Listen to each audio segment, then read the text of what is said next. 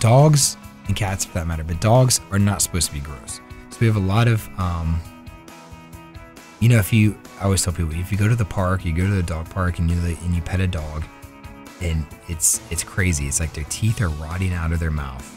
They have they're they're they're oily. Like you pet them and your your hands are now oily and they smell bad. Um, they're pooping out cow pies.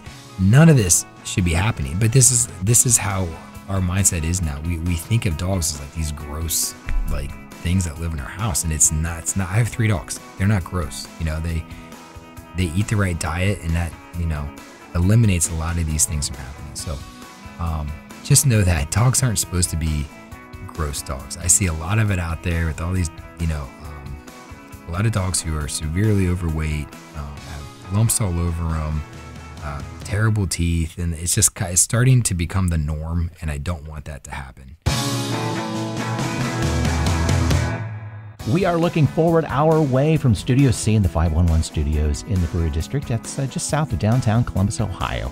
Hi, this is Brett. I've been a pet owner for years. I think I've mentioned Miles on our podcast a few times.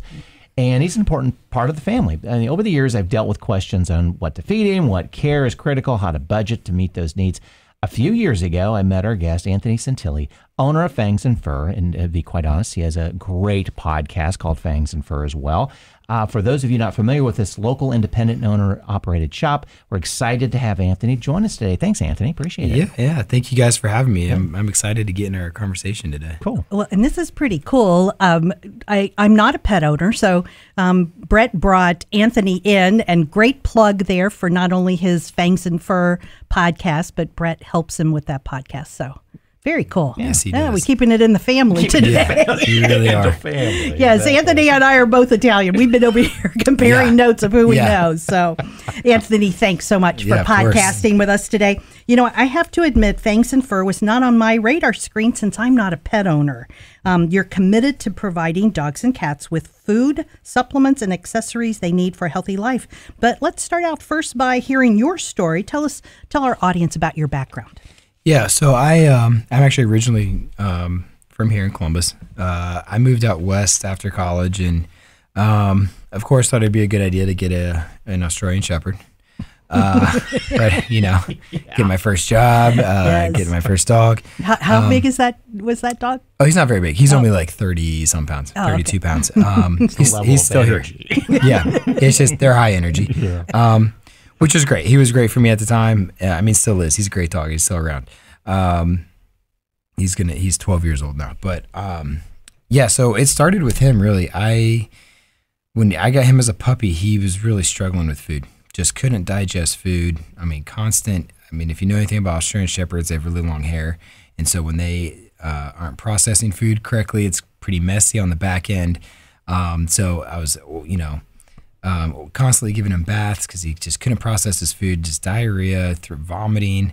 Um, and the vet put him on all these uh, medications and all this food, um, processed food, and nothing was working. And it was getting better, or it was getting, it was start, it was starting to get a lot worse. And so, um, I remember I walked into a, it's a kind of a locally owned pet shop in downtown Seattle. Uh, it's called Mud Bay. And the one of the ladies there asked me, she's she said, "Well, if you had a pet snake, like what would you feed it?" And I was like, "Well, I guess like a mouse, right?" And she's like, "Well, yeah. Why would you? Why wouldn't you apply the same logic to your dog?" And it was at that point I'd never thought about what dogs would normally be eating if it wasn't up to us. Um, it certainly wouldn't be processed pet food, right?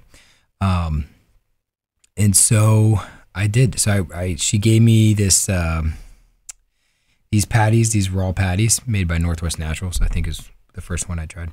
And immediately, I mean, A, he liked it. He wouldn't even really eat the processed food. And when he did, he had massive issues. Um, so this, I put it down and devoured it. And I'm like, okay, this is, well, that's good, but we'll see how, what happens on the back end. And, you know, within a day, I mean, he was, he had solid stools for the first time I've had him in six months. Um, and his his fur came back, his energy came back. He was like a whole different dog. Um, and so I, it was at that time where I just really started becoming passionate. I started looking into what was what was going on in the pet food world and how how we got here. Um, as far as feeding our dogs, you know, this ultra processed, super dehydrated, um, pretty much pellets of corn uh, with synthetic sprayed on top. And um, he had also, we had also at the same time, he he actually had to go to the emergency clinic because he was eating these treats um, that were advertised as um, natural, 100% natural chicken jerky treats. Um, it turns out they were not made here in the U.S. They were made in another country, and they were using um, a plastic resin. Uh, so he was vomiting, and there were like these pellets of like translucent um, plastic. It looked like, and and we lived. This is uh, my ex girlfriend and I lived in this really small apartment downtown Seattle. It was like you know very small um, studio apartment, and um, I mean it was like so we knew everything he was getting into, right? And so we're like, what is going on? The only thing he's been eating is this chicken jerky. And it turns out that they, yeah, this company was using a plastic resin, um, meth, um, oh, melamine, I think, it, or I can't remember what it's called, but, um, and eventually it took them like two years to get it recalled. Um, you know, knowing every, there's tons of dogs dying of, of this uh, melamine poisoning at the time, but, um, so I, all these things are happening at the same time. And as I started looking into, um, canine nutrition and, and pet food and all that. And so, um, and I was working for Hyatt Hotels at the time, and I, all of a sudden I'm at work and I'm constantly talking about I'm, I'm like I'm like converting all these people into feeding you know at least fresh food, adding some fresh food, or most likely uh, trying to get some raw food in that dog's diet.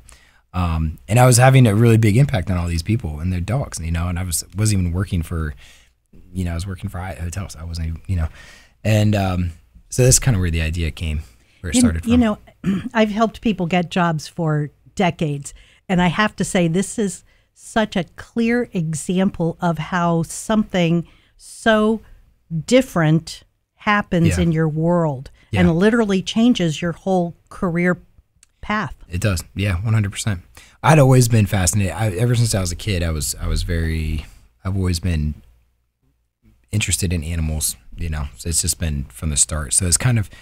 I always look back and it's like I don't know why I didn't do something like this earlier. Like mm-hmm. why I just kind of went down that path of doing you know what, you know your kind of standard, you know go to high school, go to college, and get a degree in you know political science is what Or I be did or vet. business. You know, yeah, yeah. Um, and so yeah, it kind of makes sense that you know it kind of happened this way, I guess. But yeah, Interesting. Well, your hospitality gig probably was a great training ground because you had face to face with a lot of people. So, you know, Yeah. why? Let's dive into you know you had that background, and then okay, you created Fangs and Fur. Why? How? And and how do you think you pulling your background? You you've kind of alluded to it a little bit already, the passion, but some other things like I'm going to do this. Kind of walk us through that. Yeah, I well, you know, I was an operations manager for Hyatt for almost ten years, and so it it's kind of like you're running a a business, right? Um, you're you know hiring and firing and uh, financials and and everything else. Um, but the big thing, so you know, it's just as far as kind of starting a business and, and understanding the business. I think it really helped. Um, but also, you know, you really learn a lot about people in that business. Um, and I think that's something that at Fangs and Fur we do really well is we um, we treat everyone and we treat every pet as an individual because they're so different. Um, you know, and it's not just a, the same, I guess, solution for every pet. It's gonna be a little different. Um, and that was the same with with hospitality. You know, whenever there's an issue with some, you know, a guest had an issue or whatever, like it was, everyone is so different. You know, and so you know, listening is like the biggest thing I learned from hospitality. It's just sometimes people just want to be heard, you know, you know, and um. I think a lot of people come in get frustrated whether you know if they if they've been to their vet or um, somewhere else and and they just they felt like they weren't heard, um, and so we, we we do our best to try to listen and and figure out really what's going on underneath surface. So Interesting. Yeah. Great, great. yeah. So, even for those of us who don't have pets, we're all bombarded by commercials. Um, and as uh, Brett has taught me, it's called the you know traditional dog food is kibble, that dry stuff that bangs into the to the bowl. Um, so those dry pellets, we lug them from the grocery store to our house. How is this huge pet food industry? How is it created, um, and how it such um, awareness to push pet owners to fill those grocery carts Yeah. with that kibble type product. Yeah, it's like how did we get here? Yeah. Um, you know, a lot of people, you know, especially my generation, older generations as well, we're all all we've ever known is kibble. Mm-hmm. So we never even thought twice about it. I never thought twice about it um, until all this stuff happened with my dog. Um, but kibble was really, I mean, kibble was developed by James Spratt and like the Spratt by I think it was like 1856 or something like that. So a lot of people don't don't know this, but pet food was developed before veterinary medicine, before veterinary medicine schools were were developed in this country. So, um, veterinary schools are actually made, they came out of the pet food industry. So there's a heavy, heavy influence in the veterinary world when it comes to processed pet food for that reason. Um, but it really became popular after World War II. So, you know, everyone comes home from the war. Uh, you know, both people in the house are working. You have nuclear families developing. So you've, you know, bunch of, you know, kids. Um, and everyone is really busy, right? So kibble was really became popular just because it's convenient.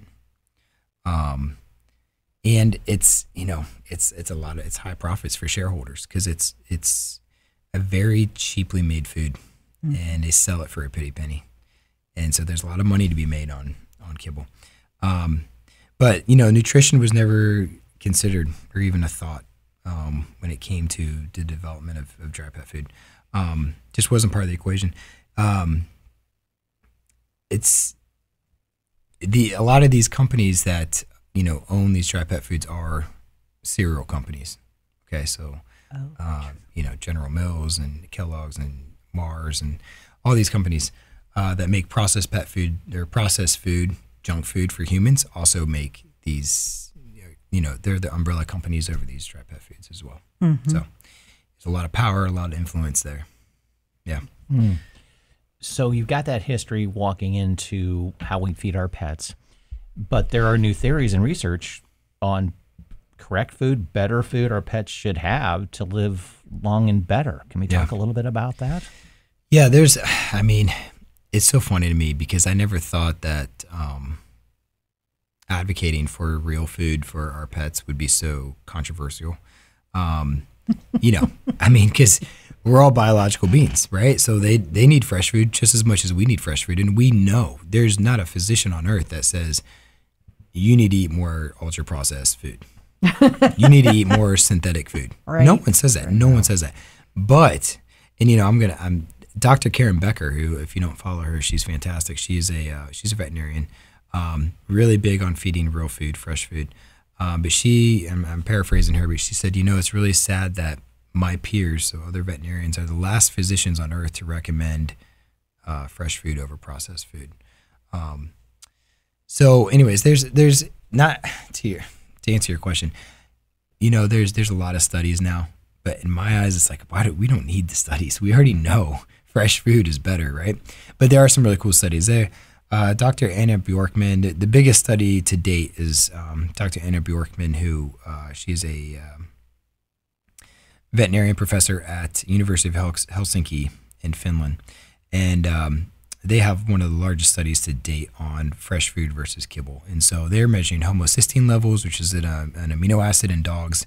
Uh, essentially, dogs that, that were fed. It's a disease marker, um, and so they they compared that with you know dogs that are being fed raw food versus processed food, and um, they actually had four groups to kind of get into it. They had four groups. They had dogs that were on kibble and stayed on kibble, dogs that were on kibble and went to raw, dogs that were fed raw and stayed on raw, and dogs that were fed raw and went to kibble. Um, and so they kind of, it was really neat. So the dogs that had, that were on raw food and stayed on raw food had the lowest levels of homocysteine in their bodies, which is great, which we already knew, right? Um, and then the dogs that were fed kibble and stayed on kibble had the highest levels. But what was really cool was the dogs that went from kibble to raw actually had a huge decrease in homocysteine. So I always tell people, like, you know, it's never too late, you know, um, to transition your dog. When you think about that, the reason kibble has become successful is because they have convinced us it is real food. That kibble is real food. Yeah. The the marketing, the commercialization, what's written on the Put- packages. They put real food on the package. And real dogs They might and put a wolf on the package. like it's like their ancestral Exactly. diet. Yes, like, yeah, exactly. no, not even And- close. And, so the although the research is not really telling you anything new, yeah. the research is going to add to individuals' belief that I can't believe that package. Just like um, when you see something, you know, reduced sodium. Well, Yeah. it starts out 10 times too much sodium and then Yeah. it goes down to eight times too much sodium is reduced, but not really. Yeah. So that's, Yeah, there's there's a lot of problems with with dry food, and I don't want to shame. I'm not. I, I never shame anyone for de- for feeding um, dry food or process or kibble, processed food, or whatever, whatever you want to call it. Um, it's just about what we can, how much real food can we get back into the diet, right? Um, so if you can only do a little bit, great. Um, the same the same um, study, the dog risk study that I was referring to, they determined that just doing less about twenty percent of the dog's diet with real food so just 20%. So taking out 20% of the processed food and putting 20% of real food in there can have a huge impact on decreasing disease um, and increasing longevity. Just 20%. I always tell people if you're eating McDonald's three times a day and all of a sudden you're like, you know what, I'm going to eat, you know, a real meal for one of those meals, that's going to have an impact, you know. Right. So, um, yeah, kibble is, um, you know, the major problem with kibble is it's it's 40 to 60% carbohydrates. Um, and dogs being facultative carnivores, you know, they have they, they have zero dietary requirements for carbohydrates. They don't need carbohydrates. Um, I'm not saying there's not a place for it in their diet in a small amount, but to make it the majority of their food is a is a big concern because all those carbohydrates convert to sugar in the body. They feed inflammation. They feed cancer. They feed yeast. They feed you know all these issues we see in our dogs: diabetes, kidney disease, all these things that are happening um, is directly you know tied to their diet. But you know, one of the issues that people have because they hear this, and goodness knows what they're reading to hear it, Yeah. um, that natural food, real food is more expensive. And many of our listeners are on fixed incomes. Yeah. How can we help them realize that you can do this without breaking the bank? You did mention, you know, just reducing a bit of the kibble. Are there other ways that they can um, still get a better diet for their dogs? Yeah, I. This is a really common question. I I like to tell people, and it's funny because when I when I start talking to people and listening to people, I find out that they're paying they're paying a lot of money for like different kind of medications every month. I mean, $200, 300 dollars every month. I'm like, if we could just replace their diet with an actually healthy diet, you would cut down those, if not eliminate those those costs in, in medication.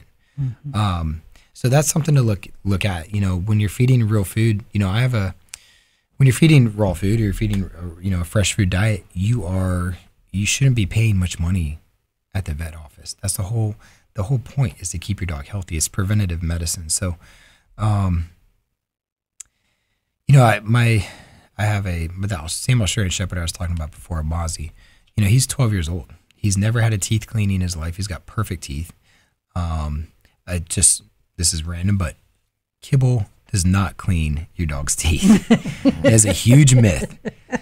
If your dentist told you to eat a hard cookie, chocolate chip cookie every day to keep your teeth clean, you would never go back to that dentist. I'm Boy, but does it sound good? yeah, yeah. It's- I mean, yeah, and people like to hear it. But I thought kibble cleaned their teeth. No, eighty percent of dogs in this country have periodontal disease before they're three years old. So, um, but going back to Mozzie, I mean, he's he he just never had a teeth clean in his life. He gets he's been raw fed since he was six months old, um, and he gets raw meaty bones all the time. But anyways, I don't he you know I I do blood work with him because he's a senior. So just to test, um, make sure everything's good.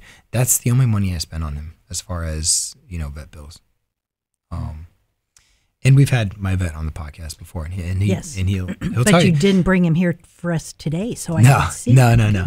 Uh, he's a great guy, and uh, but you know he he said something too. I think on our podcast actually he had mentioned that you know in China when you when you get sick, you don't go back to that doctor that you had been going to because they didn't do their job to keep you healthy.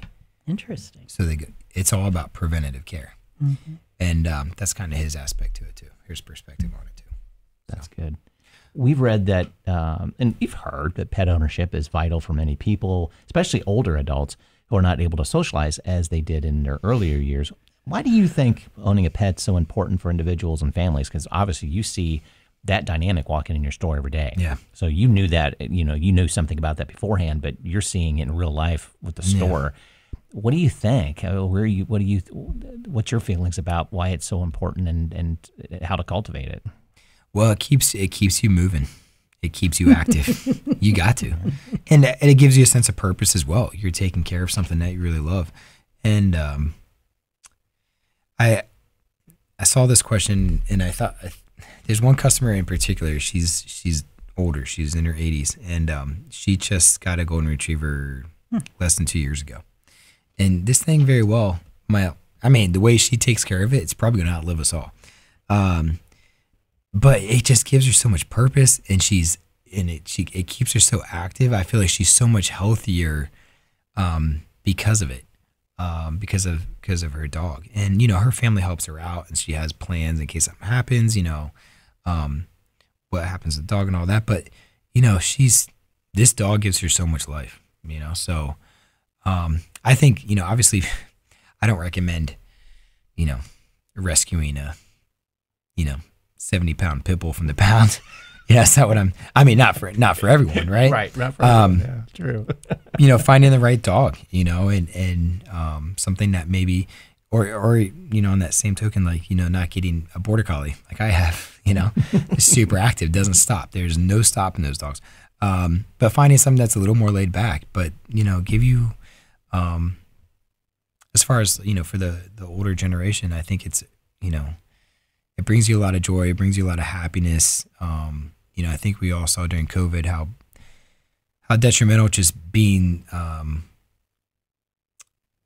secluded, being lonely was to a lot of people. And so having that pet in your life can really bring a lot of joy. And I think it's also, there's also a lot of good data, good research showing what it does on your stress levels, um, Right. decreasing stress levels and keeping you active and um, actually extending your longevity as well. So, Really, really giving you a positive outlook on Yeah, life. Um, as you said, it's um, when um, you have something, someone to focus on to Yeah. help and support. Um, it's really helping you too. So you're reducing stress. You're getting more exercise. Positive outlook. Next logical question: How can we make pet ownership easier for older adults? Is there any? Are there any other tips that you might have for them? Yeah, I think. Well, again, I think breed is important. You know, I think paying attention to what kind of breed you're getting um, is really important. Like, you know, getting a really big, strong dog might not be the best bet. I mean, I, I've seen that in my neighborhood. People who Yeah. are just like the, Yeah. the, the leash is taut Right, as, right. as the dog is dragging them. there's a place for little, little smaller dogs in this world. Teacups. Yeah, yeah. And so, um, yeah, I think finding the right dog is probably probably the most important thing. You know, one of our uh, previous um, podcasting experts came in, and uh, one of the local food banks, m- more than one of the local, but many of the local food banks, um, actually get donations of pet food Yeah, to help people who are also using the food bank. Um, that's all kibble. You know that that might Yeah. be a, a strategy that we would want to look at and say, what can we do to help the dogs stay healthy? Because that individual, that older individual, if they're using a food bank, they don't have money for a vet. Yeah. Yeah, you know, the um there's an interesting um case to be made for uh specifically like homeless people that have pets. Um they're actually really healthy. I mean, a lot of times they're they're really healthy. Metabolically, they're really healthy because they're walking a lot. They're outside a lot. They're being able to use their senses and uh, smell and investigate, you know, and um, being in different environments. It's more like their ancestral living than, Right. you know, than being stuck in a back in suburbia, you know, in a backyard. It's a whole entire life. So, um, but yeah, and I also think those those those animals too, you know, I've seen I've seen a lot of them, and they look very. That most of them look really healthy, and I think I think they're also getting fed food. So we we think that you know, I, I hear a lot of times people say you know we don't feed any table scraps, and I'm like, what are what does that even mean? I mean, food food is food. It's not there's not human food and there's not dog food. It's just food, right? So knowing what foods dogs can eat and what's good for them, and being able to supplement with that, I think is really important. But and and two, I think the message isn't you know when I'm thinking table scraps, I'm thinking food that has been cooked in a way that's not good for an animal. Yeah. So there's there's that differentiation. Yeah. Um, you know, obviously cooked bone is not good, right? So bone is the ancestral diet of a dog, right? So you have, um, uh, you know, most of our diets are about 10% bone. Um, we have a lot of people that do DIY that, you know, 50% of the diet is turkey necks or chicken necks or uh, wings, things like that. Because dogs are meant to digest raw bone. Uh, but when it's cooked, the collagen hardens and can splinter and can cause um, Oh, okay. yeah, some choking and intestinal damage and things like that. Um, but yeah, there's obviously some foods that we, you know, you want to avoid with the dog. But um, you know, most of the stuff. It's funny. We um, we did a podcast with Dr. Ian Billinghurst, who's this. He's an older vet from Australia. He doesn't. He's not practicing anymore. But he, um, in in Australia, as he was talking about on the podcast, everyone was feeding table scraps for up until like the mid 80s and the 90s, everyone was just feeding their dogs table scraps. Whatever the kids were eating, the dogs were eating too. And his dogs were healthy. The dogs that are coming in his practice were healthy dogs. You know, almost no cancer, uh, no kidney issues, the diabetes, uh, dental health was good, no periodontal disease. It wasn't until they introduced processed pet food down there in um, around that time when you started seeing the uptake and all those and all those issues. So Okay. Yeah. You know, working with you I, has opened my eyes to what I do with our dog. And also, I'm an a- advocate of just, you know, when the conversation comes up about what they feed their pet, kind of talking about, you know, what you've talked about and just and like, without telling them what to do. It's like, you know, I've heard, I've heard, I heard, you know, really Yeah. work, like working with fangs and fur, you know, that's like, it's kind of fun. But, you know, when we first started working too with, with the podcast and, and me learning too, I, the cost factor came into mind going yeah you know I, that, and, and me looking at the price point going i want to do better for the miles but yet ugh, you know there's a there's a cost factor Sure. and i think i think anybody listening to the podcast would think that as well too and i think it's that you you kind of walk into it but as you mentioned earlier too there's there's that cost of the vet well if you don't do this it's going you're going to have to pay for it at the vet as well Yeah. too you're gonna pay for it eventually. yeah. And eh, I'm going to give an example of how I jumped into this, and I want you to go further with this. That Yeah. you mentioned, you know, no kibble shaming, and you mentioned in one episode just add water to that kibble, Yeah. and and it'll be amazing what it'll do. Yeah. So let's go. Let's take that to the next steps. Like, what are some simple things that are cost Cost effective. yeah, cost effective. and really They're on a fixed budget. That you know, I want to do better for him or her, but I can't do that. I can't do that. Yeah. But maybe list you know some things that are just really easy to do that are already in the house. Yeah. Um, yeah. So water is a good start. You know, uh, kibble is about, I don't know, seven to 10% moisture. Their ancestral diet was uh, prey animals about 70, 80% moisture. So a lot of dogs in this country are suffering, they're just dehydrated all the time. And yeah, you talk to people, I talk to a lot of people in the shop and, you know, they can't keep the dog bowl full, like the, the water bowl full, because the dog is constantly trying to catch up. Um, and that's the big thing when people transition to raw food is that they, they call me like two days later, like my dog hasn't like drank any, almost no water in the last two days. I'm like, that's good. The dog is getting their hydration from their food, which is what we want. Um, so just getting the water into food is a huge thing. Um, we we have a lot of customers that come in. We sell one brand of, of kibble, and then um, they buy their kibble and they get their goat milk out of the freezer and they're out the door.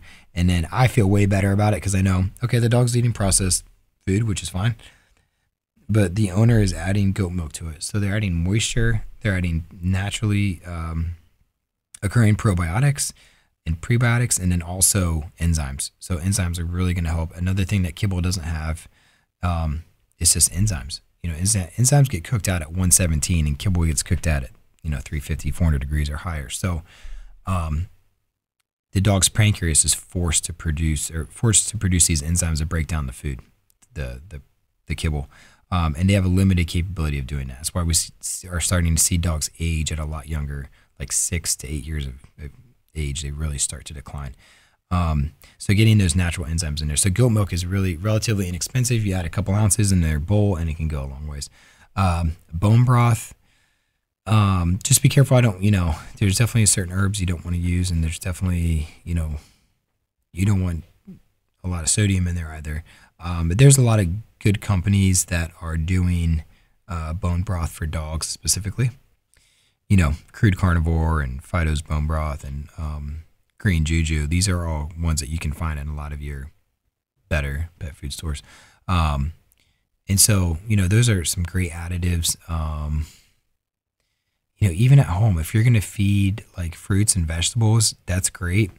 Um, I always tell people the more you break down the fruits and vegetables, the, be- the, the more they're going to be able to absorb it. So dogs aren't good at absorbing carbohydrates.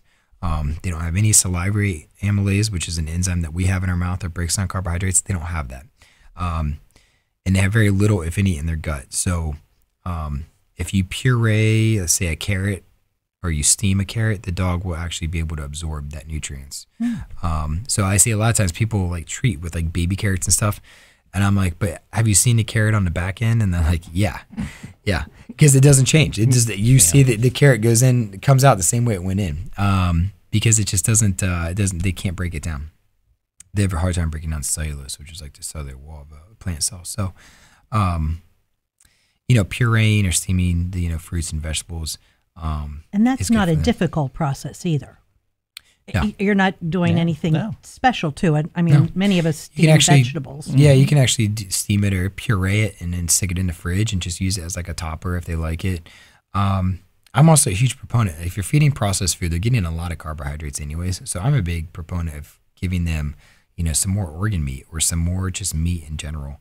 Um, raw meaty bones is a great, you know, raw chicken necks, raw turkey necks, raw duck necks, things like that are great additives to their diet. Um, they, those are nature's toothbrushes. Um, you look at wild canids, they don't have dental issues Right. you know Right. um, as a matter of fact they don't have a lot of the issues our, our dogs do um, Yeah, because I, started, I started giving Miles the uh, the turkey necks and chicken necks, and Yeah. you know, and yeah, it's kind of gross at first if you're not used to it, of course. But Yeah. but it's so fun to watch him go in the backyard. He'll take it and he sits in the backyard and he just starts chewing on this thing, and his eyes close. Yeah He's enjoying it, just pure bliss just loving it. And, you know, Yeah. just whipping it around, just trying to you know get at it. It's just so fun to watch him because Yeah. he just loves that moment of eating it. yeah it's for me wild. i don't think there's anything better for their teeth um, a lot of times people feed like greenies and things like that but you have to understand those are mostly just rice flour um, think that's the first ingredient in most of those and it's You know, and going to that. vegetable oils and seed oils and things that they should never be eating It- so Let's talk about ingredients just for a bit. When you know, if you, so you're conscious about the, the the treats you want to buy, and there's some Yeah. good ones on the shelf that Sure. are not multi-ingredient. Yeah. So, what are the ingredients we should be avoiding? The the, the carb stuff that actually are is carbs that it says grain free, but maybe it's not. You know, because you're specifically looking for some grain free, but you're trying to reduce those carbs. Yeah, grain free doesn't mean carb free. It's a big, it's kind of a marketing scheme, right? Um, grain free just means there's no grains, but they use legumes or you know um, beans, things like that, um, which are arguably worse. So. Uh, for me, I just a lot of the treats we sell in the shop are just single ingredient treats. I mean, beef liver, chicken jerky, um, bison liver, um, you know, or or there's you know we have some like uh, like Green Juju has like a freeze dried treat and it's it's have like it's like bison is a main ingredient, but they have like beets and uh, blueberries, like just like other lower glycemic vegetables or fruits in there, um, which are all really you know packed with antioxidants and really important vitamins and minerals for them. So it's um, Because it's you want you just want to see whole foods. That's all you want to see. You want to, you want, you're Yeah. trying to do the right thing, but then Yeah. all of a sudden they're packing in this yeah, And I've read that too. I'm going, well, I put it right back on the shelf. And I'm looking at in other places, like, well, that's you know, it's like. Yeah, I've they- seen that they too. Of that put, mis- like- not mislabeling, but kind of deceptive Oh, labeling, yeah. grain free, grain free. It's like, well, wait a minute, it has tapioca and rice flour. I'm going, well, yeah. yeah, okay. There's a lot of things, you know, the marketing is a big issue. Um, and there's a lot of people pushing for more um, accurate depiction of what's what's actually in the bag. Um, because of right now, if you flip your bag of dry food or kibble over and you look at the guaranteed analysis and you'll see protein, fat, moisture, ash, you don't see carbohydrates on there because legally they don't have to put carbohydrates on that label. The sad thing That's is, interesting. yeah, it's very interesting because the majority of the diet is actually carbohydrates, Right. but yet they're excluding that from the list. Oh, Um, so if you subtract those things from 100, you get your carb count. It's usually 40 to 60 percent, which is an extremely high number. But char- you know, carbs are really cheap. So, um, yeah, and then you know the ingredient label, um, like a lot of times people will find it's by weight, right? So you'll see like beef as a first ingredient. However, they're allowed to put that on the ingredient list before it's processed. Everything else on that list is processed, but that the meat one isn't processed, so it's 80% water. So once it's processed, it's down to almost nothing. It really should be the maybe 12th or 13th ingredient on the list.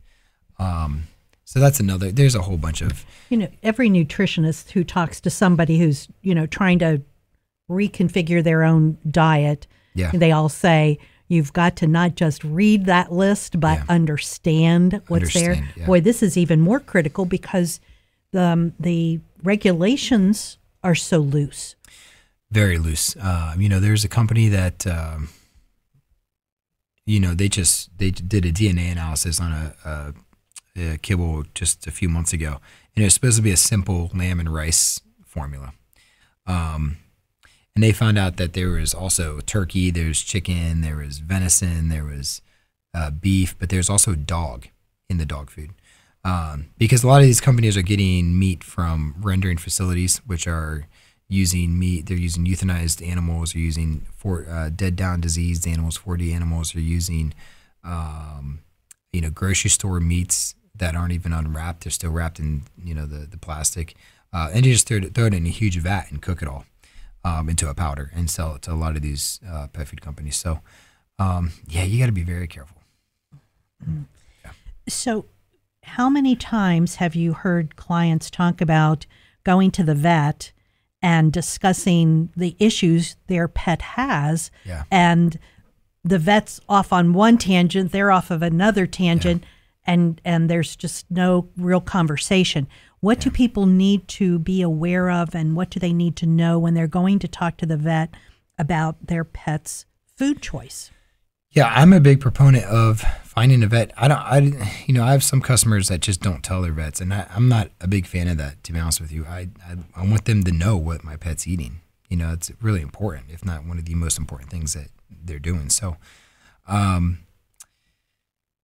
yeah, um, I would say first find a vet that's open to, um, you know, feeding real food, which is sounds so sounds so stupid to say, but um, but they're out there. But you know, they're out there. Um, I think the For those of us who have never been pet owners, this is Yeah. enlightening. yeah. Um, but you know, there's the what's it? The American um, Holistic Veterinary Society. I think it's a the website. If you Google it, it's um, the website pops up and it will find holistic veterinarians in your area. So, so that's something that we should Um, or- put into our show notes to make Yeah. sure people can yeah, find. Yeah, or integrative. Uh, looking for integrative vets as well. Usually, the integrative vets are going to be um, either proponents or advocates of, of feeding more fresh food. Um, like you know, my vet at Dr. Carlson at Lifetime Pet is a very big proponent of it. Um, just because he is kind of interesting story, but long story short is he saw the difference that whole food vitamins made compared to synthetic vitamins, and that turned him on to. So wait a second, like they're my dogs that are the dogs that I'm treating with whole food vitamins are doing way better than dogs that are not. And um, so then that turned him on to whole food, and then that was that was it. Um, you have to understand, and I don't I don't blame vets for this. Actually, I've talked about this before, but I, I blame the the education system. Um, I think they're uh, I think they're failing the veterinarians and the veterinarian students. Um, they're not putting it enough emphasis on nutrition, and the nutrition education that they're getting is highly, highly. Um, it's um, what's the word I'm looking for? Very influenced by um, you know the big box pet food companies. You know they are they have feeding programs for the veterinary students. So you know these vet students are thousands upon thousands, tens of thousands of dollars in debt. Um, they're giving free food to or like heavily discounted food. Um, so that's kind of how they get them hooked. Um, a lot of these colleges or universities don't want to have, um, you know, someone with a PhD in nutrition come teach about nutrition. They just would rather have like a rep come in and talk to the students about the food. So you have all these dry pet food, and they won't allow raw food companies in there. Um, So there's, uh, again, I don't, I don't try to, uh, I don't really, I feel bad for the vets because they're not getting um, the proper education on nutrition, um, and I think they're being failed. Um, but I think it's you know looking into what you're feeding. You know, I have a lot of, I can't tell you how many times I've had a customer come in and tell me, yeah, I took my dog to the vet and they did like the, you know, a full analysis of my dog and they just couldn't believe like how healthy he looked compared to the last time they saw him. And, um, they asked me like, what have I been doing? I said, well, we, we transitioned to a raw food diet and then they just went off. And he's like, you know, and my customers be like, and I told the vet, like, you know, you just told me my dog was the best he's ever looked. You know, he's the healthiest he's ever been. And now you're saying what I'm doing is wrong, you know? Um, which is just kind of sad. Yeah. Just It's, you know, if the evidence is right in front of you, smacks you in the face, you still don't see it. well, know? and an, and an owner is going to feel like, oh my gosh, yeah. what you know, and Person and in a white jacket know, tells right, you that that's wrong. right, Yeah. right. Yeah. So I think finding the right vet is is going to be the most important thing, and I think that'll draw a lot of vets into who are kind of. I mean, there's some some veterinarians that really dug their boots in about this, but there's some veterinarians that are still very open minded, and I think it'll turn more veterinarians to be more open minded about this when they see um, more and more people feeding real food, fresh food, raw food, and their dogs. They see their dogs and how healthy they are. Um, and you know people being honest with them and what they're doing. I think a lot of veterinarians too are concerned that people are doing like DIY diets, which I'm I'm okay with as long as you know you've done your research. What tell Um, tell me what a DIY diet is? Uh, it's just like a like a do-it-yourself diet. So um, you know they'll they'll home cook for their dogs or they're put together a raw meal for their dogs. Um, and so and there's you know this is funny. Doctor Billinghurst, uh, the Australian veterinarian I was talking about before, he's like you know wolves and dingoes and coyotes. He's like they don't have they don't have they don't they don't have spreadsheets out there in the wild. You know what I mean? And and there's a lot of raw feeders that I mean I swear I used to be one of them that had spreadsheets because I used to do a lot of DIY. Just bet spreadsheets. Miles make sure make sure my my calcium the phosphorus ratio is a one to one. You know it's just like it's crazy. And then like you know then you watch uh, there's a really cool documentary on uh, I think it's it was a Netflix. It's called the uh, Kingdom of the White Wolf. I think is what it's called. It's a National Geographic one. It, and this guy is essentially going around like the Arctic Circle, following these pack of huge Arctic wolves, right? And these these pups are eating like they might get a bone once every like four days, and we're talking right in like their prime growing stages, you know. And they grow up to be these huge Arctic wolves, beautiful Arctic wolves. You know what I mean? And they're believe me, they're not eating a, a complete and balanced diet by AAFCO standards. you know, but what they are eating is real food. You know, when they do get the food, they are eating real food. So, um, I'm not saying that you shouldn't take it seriously and you shouldn't try to balance it. Um, but getting getting a lot of variety in the diet is a good way to avoid deficiencies and, and making sure you know there's a lot of good books and a lot of good resources on doing DIY diets. Dr. Judy Morgan is a really she's got a famous pup loaf, which is like a recipe online. Um, that uh, and just some raw food um, recipes as well. But she's a good person to follow. Well, you know, we've Anthony's giving us a lot of of tips and people, and and we'll get all of this information in our show notes so our audience can hear it again. Well, as you mentioned, there's a ton of research out there online. Where would you would you suggest if you're just starting fresh, where to, the best resources to just dive into as a beginner, as a I'm interested. Who should who should they look at first? Well, my podcast one. Of course, of course. Uh, I was just going to say you do a good job of watering this information down and then whetting the listener's appetite. Going, I want to learn more about Yeah. Dr. Karen Becker and you know yeah. Dr. Ian Billinghurst, that sort of thing. I mean, just yeah, it it, it does get you. It, get, it pulls you in. It, It really does because it's interesting. Yeah, and but there's there's a lot of good resources. Um,